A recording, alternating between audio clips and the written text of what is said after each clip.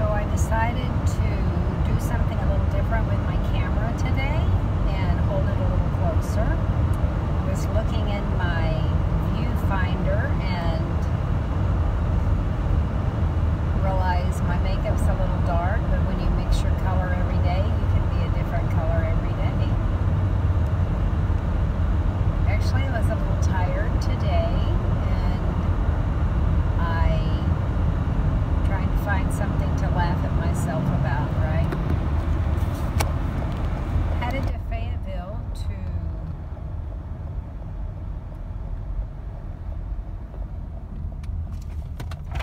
get all my money out of the B of A. So this is funny. I called this morning and I'm absolutely grateful that there is still yet one bank open. One. One. The next closest one is Springfield, Missouri. So when I talked to some lady on the phone, I'm sure she was an important lady, she said, Oh, well, the bank in Springfield on Campbell is open. I'm in Northwest Arkansas. That's 130 miles away. Won't be driving to Springfield today, more than likely. Not that I'm never up there, but not today. Anyway, so I so I asked the gentleman on the phone today at Dixon Street, the Dixon Street uh, branch, and I like never go to Dixon Street because it's it joins the University of Arkansas, and I know this is whatever weird or whatever. Even when Becky, my youngest, went to the university, and she a couple times she needed me to pick her up because her car was in the shop or whatever. I always felt so. mm, what's a good word? I always felt like I stuck out on campus, like I did not belong, and like I had no business there, people were watching me, and, and they knew I didn't belong. Anyway, I know that's weird and silly and everything else, but it's true. I really felt that way whenever I would get on campus. Um, just felt like, let's see if I can get this to look a little bit better. Uh, just felt like I really did not belong, right? I didn't belong. And everybody knew I didn't belong. So I did not ever feel comfortable on campus. Anyway, that all aside, this bank is on Dixon Street. The last time I think I was on Dixon Street was in Bikes, Blues, and Barbecue, which I like to call boobs, bikes, and beer. and the celebration of motorcycles in October, we're we actually bring in more people than Sturgis. I think that's South Dakota. Anyway, people my age know it, it used to be this huge motorcycle rally that was not necessarily tame. I mean, people died every year there. Um, but in Northwest Arkansas, it's pretty tame, okay? It's people my age that have money that buy Harleys and want to just ride for the enjoyment of riding.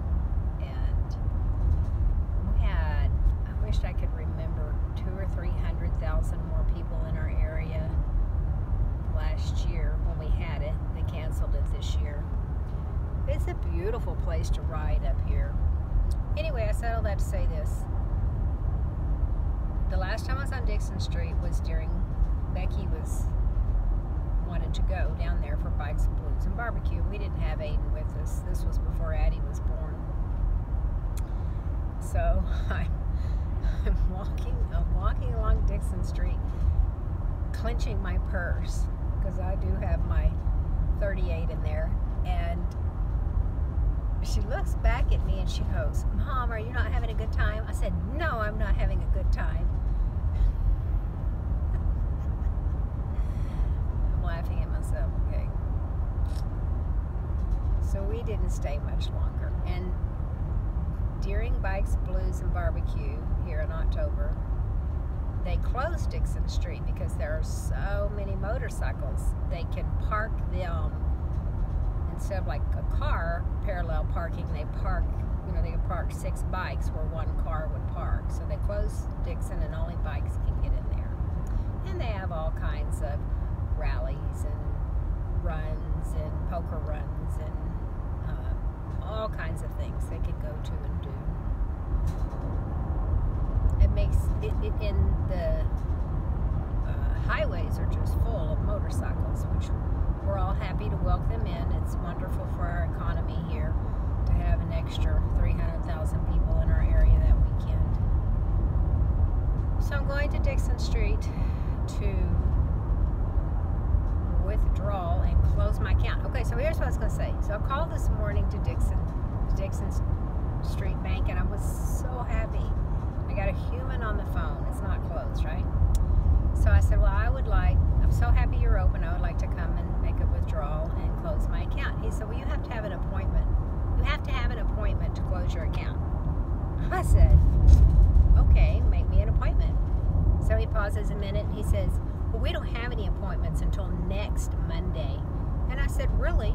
I said, why are you so busy with all these appointments? What are all these appointments for?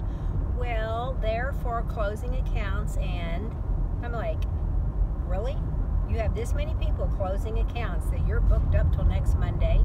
And he said, well, and getting a debit card or opening an account. I'm thinking, yeah, you have so many people leaving you guys. You're booked up till next Monday with people wanting to close their accounts. I just don't really have a lot of good things to say about B of A. I've had some not good experiences with them. And I heard from somebody inside the bank that they were going to, they weren't wanting even, you know, individual household families or people banking there. That's not what they want to do. They only want to do large corporations and businesses. But it's not like they have to give us such poor service that we all leave them. Um, anyway, so this was funny too. I got in three payments today in the B of A for 2500 each. So, I, I mean, I don't know if they ever look at my account or see what's in there. I was going to tell them, yeah, I'm a life coach and that's my fee. That's 10 sessions. That's my fee. Which I do aspire to be a life coach. I need to work on myself some more, right? Uh, I need to work on myself some more to be a life coach. So, my good thought for the day I know that sun feels wonderful and it's coming in and washing me out. But my good thought for the day is listening to this book written in the